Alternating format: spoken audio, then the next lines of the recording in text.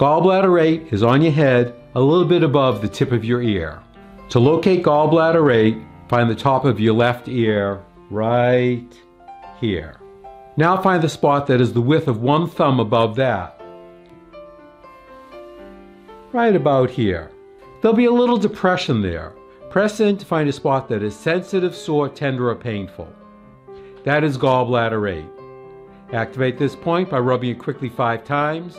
Take a break for a count of five and repeat four more times. It might look like this.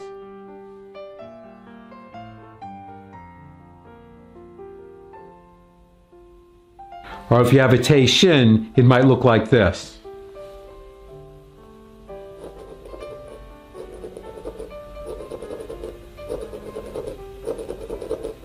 Now find gallbladder 8 on your right side and repeat.